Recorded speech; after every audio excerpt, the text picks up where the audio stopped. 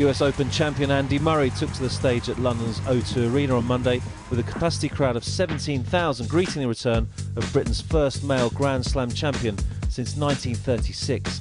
Britain's number one got off to a nervous start in the opening match of the tournament, losing the first set to Thomas Berdych before finally turning the match around to win in three tight sets. Murray is yet to make it past the semi-finals at the O2, but expectations have never been higher in a year that has seen him break his Grand Slam duck and win Olympic gold, both of which have helped grow his fan base in London.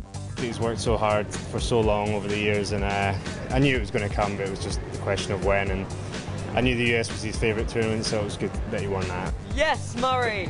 Been watching him for a year. I'm English, but uh, lived in the States for a while as well, so I was, I was excited to see him finally win one. Uh, when he didn't win against Federer at the you know Wimbledon, it's quite disappointing, but at least he's he's a Grand Slam champion now.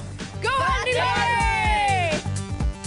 Murray Mania has swept the nation following the world number three success over the summer, and Murray is aware the home support may well benefit him this week. Over the last few months, obviously with the Olympics, uh, you know the support, all of the the events there was incredible. You know the Wimbledon final, you know for me as well was was great. It's always been a fun place to play here. They get you know great crowds. It's always been uh, absolutely packed. Um, you know they pretty much get sellout all the time, and yeah, the support always helps.